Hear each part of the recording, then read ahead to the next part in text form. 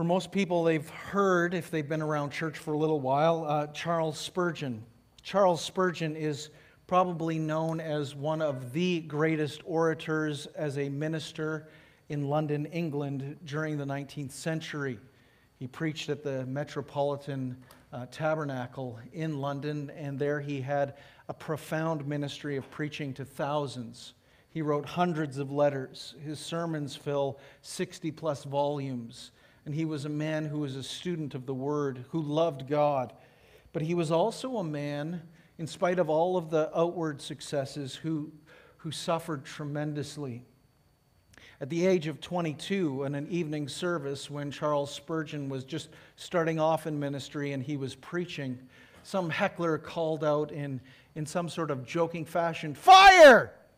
To which thousands of people who were there gathered, got up, and a stampede ensued and seven people were killed because of the stampede, because of a joking heckler. Spurgeon would say that for the rest of his life, he, he never got over that moment. He, he would struggle with depression. Zack Eswine has written a book called Spurgeon's Sorrows, and, and in it he recounts how, how Spurgeon, Spurgeon was so affected by, by the darkness that just would never lift. Yes, he was a man of God, and yes, he would have great oratory skills, and yes, he would have great insights, but he would fight what Winston Churchill would call the black dog. He would face enormous slander in his ministry and people who would question him and his philosophy of ministry and the direction of ministry. He would suffer from rheumatoidism. He would have gout bouts that would cause him great pain. He would have an inflamed kidney. His wife, Susannah, would be invalid in her early 30s, and she would rarely be able to attend Sunday morning services or Sunday night services to hear her husband preach, but rather be bedridden from an early age. And Spurgeon's sufferings would go on until he would die at the age of 57 and be home with the Lord. Spurgeon would comment about his darkness and the pressure that was going on and the depression that he would face, and he would say, My spirits were sunken so low that I could weep by the hour like a child, and yet I knew not what I wept for. For him, it was a very real and dark and trying experience that he would go through. And yet, what James wants to write to us is that there is joy to be considered even in the face of trials. Consider it or count it pure joy or the purest of joy when you face trials of various kinds, James will say, because you know that the testing of your faith is producing a steadfastness. And steadfastness must have its work so that you may be mature and complete, not lacking in anything. And we might bristle when we hear these words count it joy when you face trials. But James knows that in order for us to be countercultural that we have to proceed in a way that is different from how people typically respond to difficulties. In a day and age where we are often thinking that we are entitled to the good and the happy life that is suffering free or as Great Big Sea would sing i want to be consequence free we, we, have to face the reality, and James wants us to face the reality that there are sufferings of various and many types. They are incredibly painful and incredibly hard. And James wants us to know how to proceed with joy this morning rather than complaining. And in order to be countercultural, not to be conformed to the pattern of this world, but to be transformed, that instead of complaining to be the general note of the believer, it ought to be joy that comes from us. Let's consider two ways that James is encouraging us to count it all joy. So, first, I want us to see how we joyfully grow in endurance. That's the first thing I want us to see from verses 2 and 3. James says, Count it all joy, my brothers, when you meet trials of various kinds, for you know that the testing of your faith produces steadfastness. Now, could you imagine if someone came to you and said, I want you to just be joyful because you're suffering? If someone came to you and, and, and, quoted these verses when you were facing all kinds of difficulties, if you had just lost your job, oh, just put your chin up. Consider it joy that you lost your job. You've got a cancer diagnosis? You should smile. We would think they were absolutely crazy, wouldn't we? We, we would think you are so far from reality. You have so distanced yourself from what is real and true and right the purpose of these verses is not for us to go, yay, trials, but they're to help us to understand what God is doing in the midst of great difficulty. For Spurgeon, he would consider in the midst of his sufferings, in the midst of his despairs, how he could learn to endure. He would often be quoted as, and I think this quote is attributed to him, though I don't know if it's accurate that it is Spurgeon, but it is supposed that he has said, I have learned to kiss the wave that throws me against the rock of ages. How do you learn to kiss the wave that throws you against the rock of ages? When you feel like you are being thrown against the, sto- the, the stone that is going to shatter you, what is it? For most of us, when we suffer, we just feel like, I'm just trying to keep my head above water. I'm just trying to survive. And now you're telling me, be joyful? How, how can that be? How can you consider that to be a real possibility? Again, I think Spurgeon is helpful because if we understand that every trial has come from the hand of a sovereign God, a God who rules and reigns over all things, then we can understand why Charles Spurgeon could have joy and say he could kiss the wave that would cast him against the rock of ages. Spurgeon would write this has been a quote that has often been on, on our refrigerator at our house with a magnet on top of it to remind us of these things. Spurgeon says, It would be a, sh- a very sharp and trying experience to me to think that I have an affliction which God never sent me, that the bitter cup was never filled by his hand, that my trials were never measured out by him, nor sent to me by his arrangement of their weight and quantity. And what Spurgeon means by that is is that because God is sovereign, that we don't face an unlimited amount of suffering, but it has been measured out for us in the hand of God. That it's been weighed, it's been calculated. That, that just as Spurgeon understands this, that we could rejoice in the sufferings of this life because they're limited, they're measured. You see, for the Christian, the suffering of this life it's actually the most hell that a Christian will ever experience. Let that stop and, and let that sink into you for a moment. The most hell that a Christian will ever experience is the sufferings in this life. That's it. That God has designed and prepared for us an eternal weight of glory and so James can say, rejoice. And why can James say rejoice? Because the trial has come not to harm you, not to destroy you, but to strengthen you. Again, I want you to hear Spurgeon. He says, I have looked back to times of trial with a kind of longing, not to have them return, but to feel the strength of God as I have felt it then, to feel the power of faith as I have felt it then, to hang upon God's powerful arm as I hung upon it and to see God at work as I saw him then. Some of those times where we experience the most powerful moments of the grace and kindness of God has been in the face of trials. It's the times where we have to trust him the most. And in facing those trials, James says, I want you to consider it pure joy when you meet trials. Now, that word meet has, has a, a very important sense because you're not going out and going and looking for trials. That, that's not the point. It's not, I want to be happy, so I'm going to figure out how I can suffer. That's, that's just being a masochist. That's not Christianity. What James says is, I want you to be joyful when you meet those trials, when you encounter them. In other words, by merely walking through this life in a Genesis 3 world full of sin and brokenness, you're going to encounter difficulties. You're going to encounter hardships. And the hardships that he describes, he says, are of various kinds. Certainly for this congregation, that James is writing to, there is a sense probably of being scattered and persecuted. And with that comes economic difficulties. It comes with relational difficulties. It comes with being socially dislocated. It comes from being physically dislocated. It, it comes with all sorts of stresses and hardships that can affect the body. And so when James writes and he says, Consider it pure joy when, when, when you're going through life and you meet these encounters of trials of various kinds. They're different types and they're different kinds.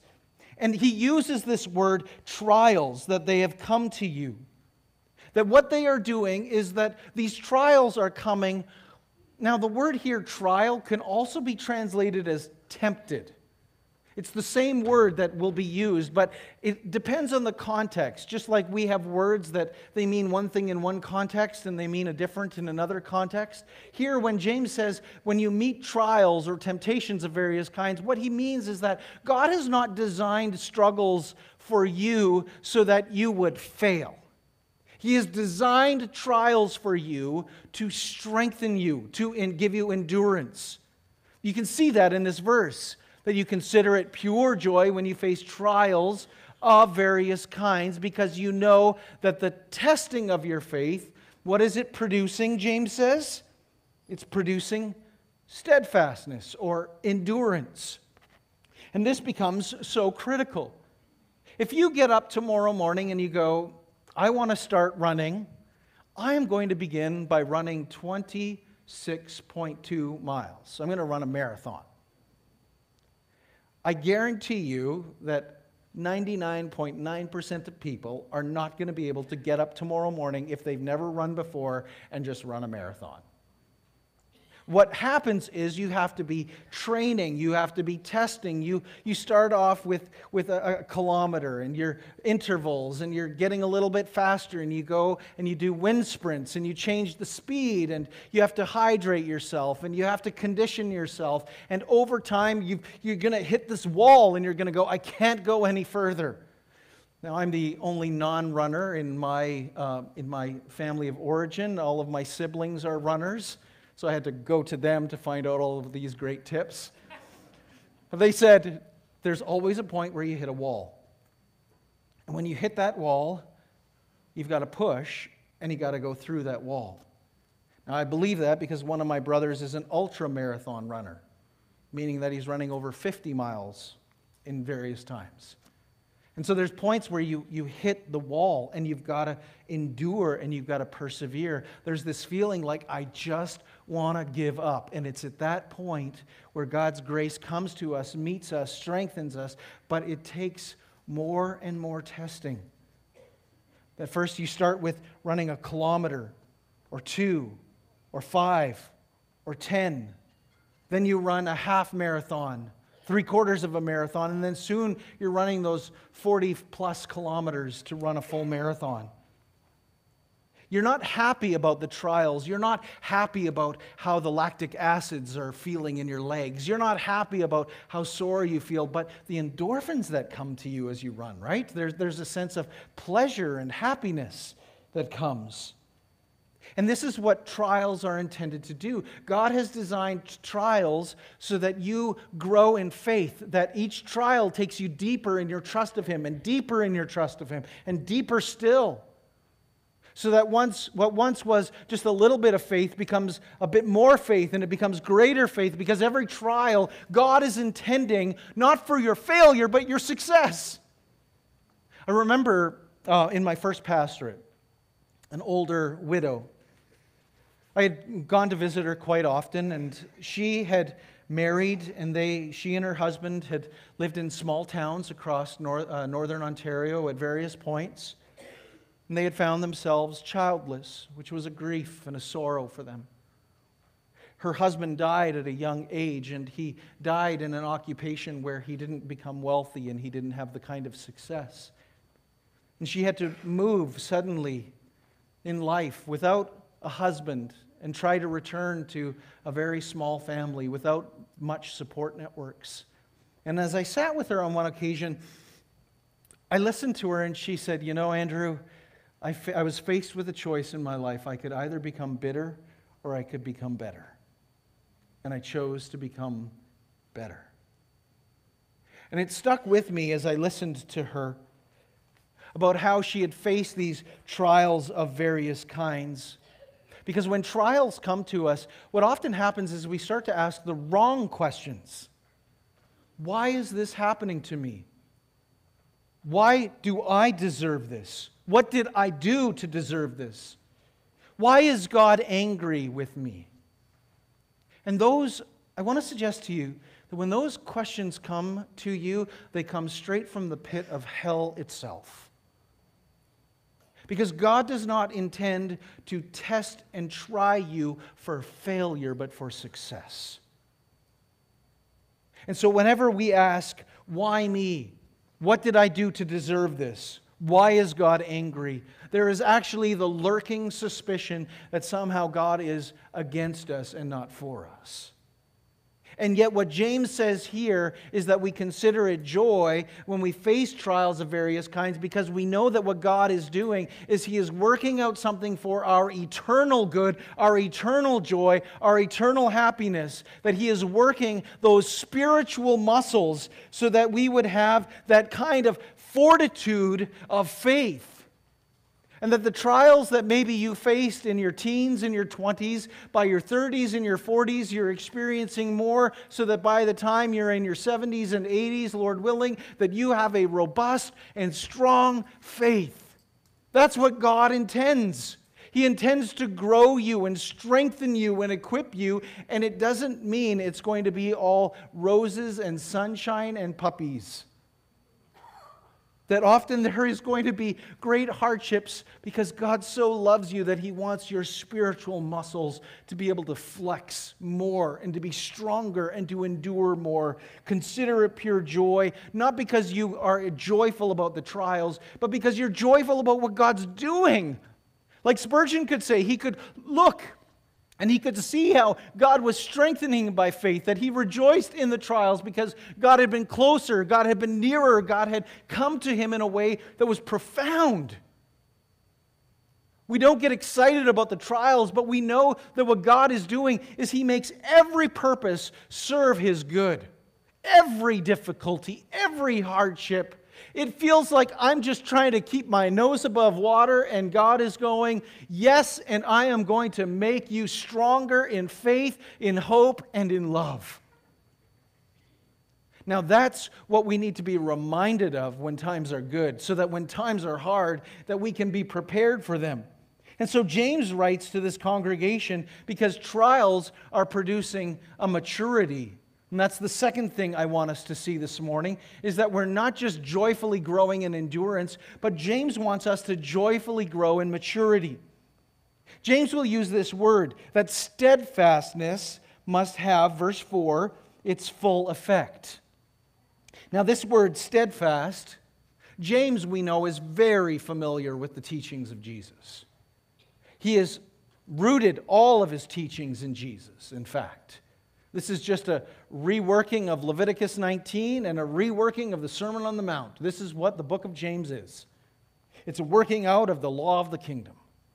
And as James works it out, when he uses this word steadfast, there are two places where the exact same word is used by Jesus in the Gospel of Luke. In Luke chapter 8, verse 15, as Jesus talks about the different types of soils, he says there's good soil, and there's rocky soil, and there's hard soil, and there's soil where there's thorns and thistles that grow. He says that the good soil, it produces fruit when it endures. It's the same word that James uses when he talks about being steadfast. It's the exact same word. And as a result of that, what James is saying is that if, you, if you're going to see good fruit in your life, you're going to have to go through trials. Because what the trials do is just like when you prune an apple tree, you, are hacking away the branches. I remember when I had an apple tree in my yard, and, and someone said to me, you ought to be able to cut off a third of the branches and be able to take your hat and throw it through the tree, and then you know that you've cut off enough branches. And I hacked and pruned an apple tree, and I thought, oh my goodness, I think I've decimated this tree. Now, thankfully, apple trees are very resilient. I know that because when I was a kid, I ran over an apple tree with a lawnmower of my grandfather's, and it became the most fruitful apple tree that he ever had. He asked me to run over every single apple tree that he had with his lawnmower, which I didn't do. But when you see how that pruning can shape and affect and cause great fruit, Peter will talk about how the, these are like fiery trials in 1 Peter chapter 1 verse 7 he'll say that these fiery trials have come upon you so as to refine your faith so it's like a, a fine, precious metal that's been heated up. And as it's being heated up, that, that the, the dross, the impurities, they rise to the surface so that they can be skimmed off and so that you can have a gold that has been tested and refined as like fire. And that's the kind of faith that Peter talks about, which is the same type of idea here that this is what endurance is producing, this steadfastness. But James, interestingly, he bookends his, his, his letter with this idea of steadfastness. He starts off in chapter 1, verse 2, by talking about steadfastness, and he'll end his letter by coming back to this idea of steadfastness. He'll talk about a man by the name of Job in chapter 5, verse 11, that Job had steadfastness of faith. And if you know the character of Job, or if you don't know him, he was a wealthy man, a prosperous man in the time of Abraham. And he was so wealthy and so powerful and so mighty that he had been faced with this great trial that Satan had come and brought great destruction upon him, limited by the hand of God, as we know from Job chapters 1 and 2. God had set out the measures and the limits of that trial. And so Job had lost all of his sons and daughters, he had lost all of his wealth, he had lost his health, and physical strength. And the only thing that is left for us in terms of what Job had was a wife who said to him, Curse God and die. That was all that he was left with. And yet, when Job's friends would come to him and they would sit in silence and they would finally speak, and they would tell him, Well, surely you've done something wrong. God must be punishing you because you've done something wrong. Job would stand in faith and he would stand in endurance. And in Job chapter 19, verses 25 through 27, he would say, For I know that my Redeemer lives, and at the last he will stand upon the earth. And after my skin has been thus destroyed, yet in my flesh I shall see God, whom I shall see for myself, and my eyes shall behold, and not another. My heart faints within me. Here, in the face of all the trials, Job stood steadfast. And this is what James is calling us to. He is calling us to a steadfastness because what that steadfastness will produce, the ESV, I think it's a little bit unfortunate, but it says that you may be perfect and complete, not lacking in anything. And I think that word perfect maybe can throw us. It's not a wrong translation, it's probably not the most helpful. This idea of what James has in mind is, is this it's, it's the word teleos, it's the word, the end goal that, that suffering has in mind. That God has an end goal in mind for you, and that end goal in mind, James will talk about this several places. He'll talk about it in chapter 1, verse, um, verse 4, verse 17, verse 25 chapter 2, verse 22, chapter 3, verse 2. And in each sense, it has this idea of maturity. That the purpose that God has for you in the face of trials is He wants you to be like Jesus. He wants you to look more like Jesus. He wants you to be more gracious like Jesus, more gentle, more compassionate, more loving. He wants you to have the kind of confessional faith that works itself out in action. And as a result of that, that when James has this idea of being mature, this is the refining process. That God's refining for us is preparing us for the future. That what God has in mind for you and for me in the face of trials, in the face of difficulties, is a glorious future. And because it's a glorious future, He doesn't want you to show up unprepared for that glorious future. What is that future that He has in store? James is very much thinking the way that he heard Jesus speak in Matthew chapter 5. That Jesus would speak of these blessings that come to us. Jesus would say in Matthew 5, verses 11 and 12, Blessed are you when others revile you and persecute you and utter all kinds of evil against you falsely on my account. Now, you don't just accept any old accusation because some accusations can be true. Sometimes we're jerks. and Jesus doesn't say, Blessed are you when you're persecuted because you act like a jerk. He says, When, you're, when you are persecuted on account of my name, rejoice and be glad. Consider it pure joy, my brothers, when you face trials of many kinds. For your reward is great in heaven, for so they persecuted the prophets who were before you. Jesus understands that to pick up your cross daily and follow him is not going to be a joy filled experience. That the cost of a cross is a painful experience, but it is producing for us an eternal weight of glory. And that eternal weight of glory, James can look and he can look at Jesus who walked this very path himself. That the writer of Hebrews the writer of Hebrews would say that Jesus himself, he had to endure hardships. Speaking of Jesus, the writer of Hebrews says, although he was a son, he learned obedience through what he suffered, and being made perfect, he became the source of eternal salvation for all who obey him, being designated by God a high priest after the order of Melchizedek. Now, to most of us, we don't understand who is this guy Melchizedek and what's that all about. But Jesus, simply put, he learned obedience through suffering so that he might be designated, or we could use the word ordained, to become a high priest in the order of the name Melchizedek means king of righteousness. The word Melech in Hebrew is the, that word king, and Zedek has that idea of righteousness. And so when you hear the word Melchizedek, it is the name, he is the king of righteousness. And Jesus had to suffer and learn obedience so that he could be ordained to that kingship called the king of righteousness. That Jesus had been designated with a throne to rule and to reign.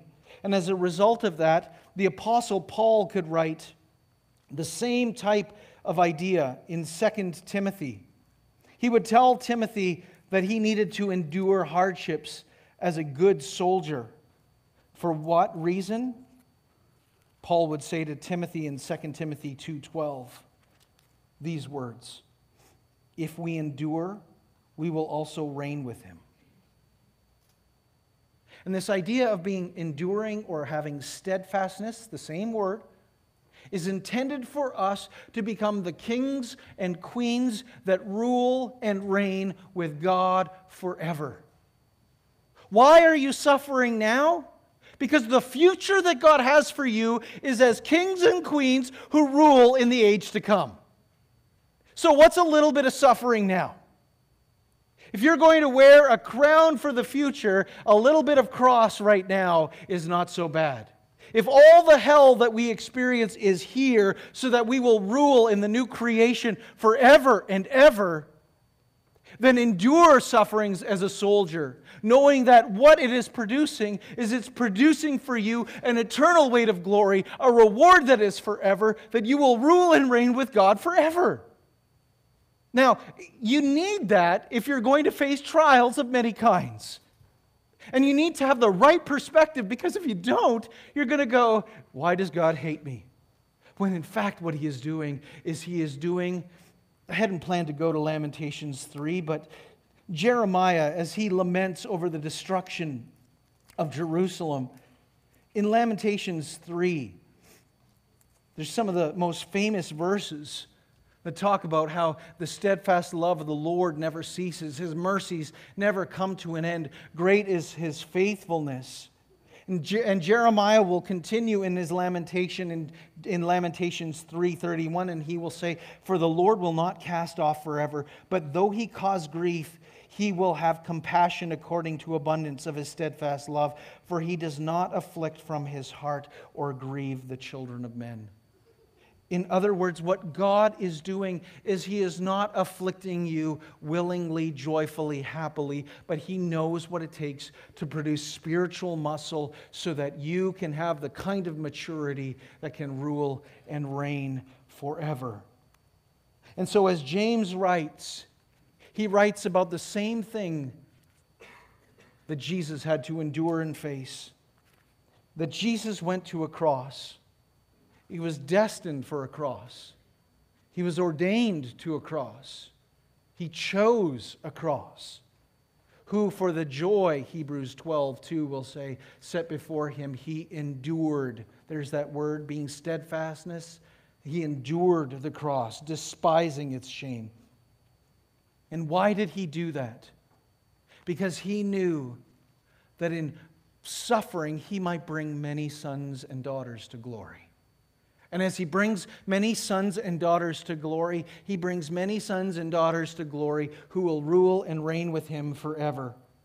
And what we are going to inherit, as Hebrews 12 28 describes, it's a kingdom that cannot spoil or fade. That we store up treasures in earth, Jesus will say, where neither moth, moths nor rust can destroy, nor thieves can break in and steal. But we set our hearts there because as we prepare our hearts, what God is producing is an eternal weight of glory. So, as James writes to people who have lost power, who have lost cultural influence, who have lost cultural significance, James says, Consider it pure joy when you face the trials of various kinds, knowing that the testing of your faith produces endurance. And endurance must have its full work so that you may be mature and complete, not lacking anything. Because when we endure, what God produces in us is the ability to say, like Job, the Lord gives and the Lord takes away. Blessed be the name of the Lord. And so, Lord, we pray that what you would produce in us is that kind of steadfastness and robustness of faith. We need it in these days where Christianity is no longer considered the dominant religion, but now considered a minority, in some cases, even considered evil. Would you help us to endure? Would you give us robustness of faith? So that we might have those spiritual muscles to be prepared to rule and reign with you now and forever.